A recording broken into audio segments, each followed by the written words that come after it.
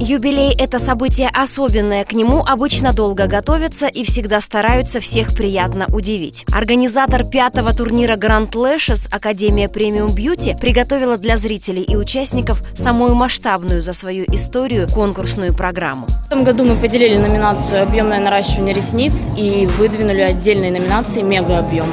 То есть все объемы, которые были до 4D, это все у нас объемное наращивание ресниц. И все, что более пятикратного увеличения в объеме, это уже мега объемное наращивание ресниц. Сейчас ни для кого не секрет, что клиентское наращивание чаще всего пользуется спросом именно мега объем. Конкурентная борьба, внимательные строгие судьи и ограниченное время выполнения задания – все это вызывает волнение у участников турнира и, безусловно, мотивирует. Первый раз участвую, волнение берет свое и оцениваю себя на тройку.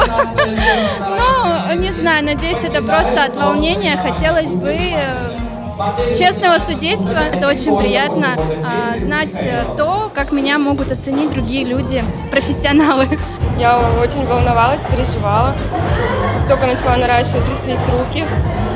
Потом все прошло. Подобный конкурс был у меня уже в 2015 году, то есть мы уже, в принципе, так лет пять точно занимаюсь этим. Тогда результата не было никакого практически, было как, ну, четвертое место, а сейчас надеюсь на победу.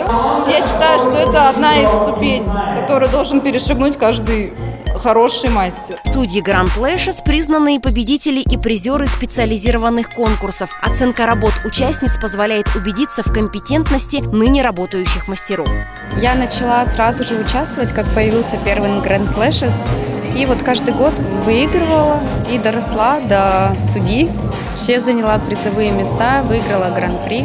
Мне очень нравится, что у юниоров очень хорошие работы. Когда мы начинали, у нас не такой опыт был. Намного стали мастера опытнее, профессиональнее, и работы намного лучше. Вторая часть турнира Grand Lashes проходила в торжественной обстановке. Мастера и их модели предстали в вечерних нарядах. Но изменилась не только форма проведения турнира, но и содержание. Самой запоминающейся номинацией стала фантазийное наращивание. Тема Лэш Стар шоу двойников открывает двери в мир селебрити и дает возможность оказаться рядом со звездами шоу-бизнеса бизнеса. Наш день начался, как и вообще во всех чемпионатах, со всех э, форс-мажоров. По итогу мы, конечно, справились, и вот сейчас ждем с нетерпением нашего судейства и надеемся взять наши заветные кубки. Забиралась сегодня полтора часа, нагрузка слишком большая идет, но оно того стоит.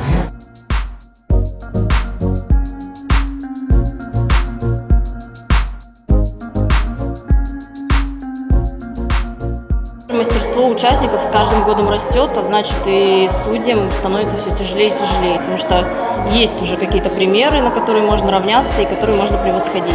Это не может не радовать. А эта номинация объединила всех специалистов индустрии красоты. Не только лэшмейкеры, но и парикмахеры, визажисты, нейл-стилисты заявили о себе в форме оригинальной видеопрезентации. Я как организатор посмотрела все клипы, и исходя из этих клипов мы присудили каждому свою номинацию, каждому участнику.